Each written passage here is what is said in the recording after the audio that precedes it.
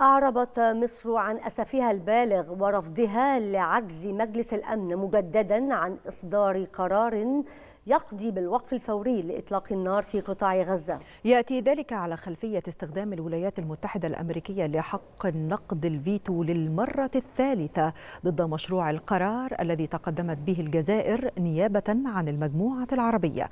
واعتبرت مصر في بيان صادر عن وزارة الخارجية أن إعاقة صدور قرار بوقف إطلاق النار في نزاع مسلح ذهب ضحيته أكثر من 29 ألف مدنيا.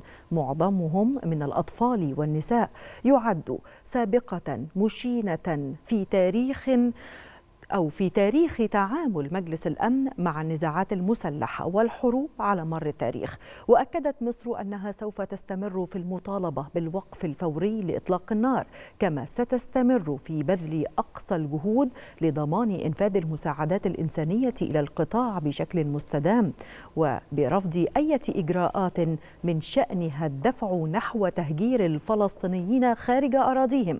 بما في ذلك رفض أي عمليات عسكرية إسرائيلية في مدينة رفح الفلسطينية.